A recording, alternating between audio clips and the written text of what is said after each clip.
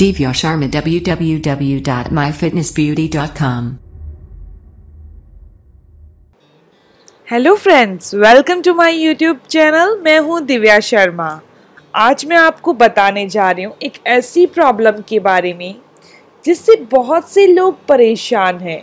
यानी कि खाना खाने के बाद खट्टे डकार आना या पेट में बहुत ज़्यादा गैस बनना बार बार पेट का दर्द होना या फिर भोजन न पचना।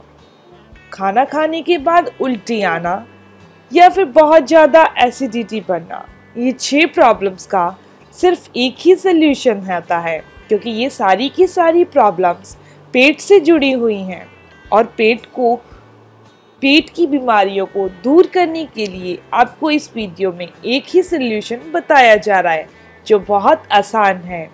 अब बात करते हैं वीडियो के टॉपिक के बारे में। तो इसमें हम यूज़ कर रहे हैं जीरे का। आपने जीरे का नाम बहुत बार सुना होगा। किचन में ये हमेशा यूज़ होता है। लेकिन ये पेट की सारी प्रॉब्लम्स का रामबान इलाज है। आपको क्या करना है? जीरा नॉर्मली लेना है और उसका पाउडर तैयार कर लेना है। इसमें और कोई चीज़ मिक्स नहीं करनी। आपने जीरा पाउडर को पानी में मिक्स कर लेना है और क्वांटिटी आपने एक चम्मच रखनी है। एक चम्मच जीरा पाउडर को एक गिलास नॉर्मल पानी में मिक्स कर लीजिए और मॉर्निंग में इसे ले लीजिए।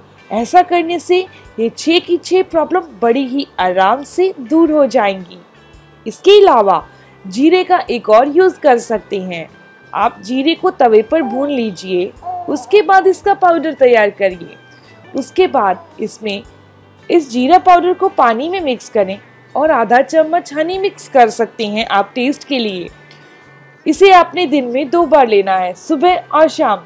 ये दोनों ही ट्रीटमेंट बहुत आसान है और बहुत इफ़ेक्टिव हैं। जिनको भी ये छह प्रॉब्लम्स हैं, यानी खट्टे डकार आना, पेट में गैस, या बार बार पेट का दर्द होना, भोजन न पचना, या फिर उल्टी आना, या फिर एसिडिटी तो ये छः की छः प्रॉब्लम बड़ी ही आसानी से दूर की जा सकती हैं। अगर आप इसी वीडियो को पंजाबी में सुनना चाहते हैं तो डिस्क्रिप्शन बॉक्स में पंजाबी में लिंक दिया गया है।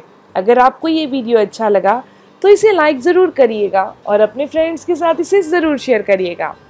अगर अब तक आपने मेरे चैनल को सब्सक्राइब नहीं किया है तो सब्सक्राइब कर लीजिए, ताकि मेरी आने वाली वीडियोस की इन्फॉर्मेशन उसके अपडेट्स भी आपको मिलते रहें।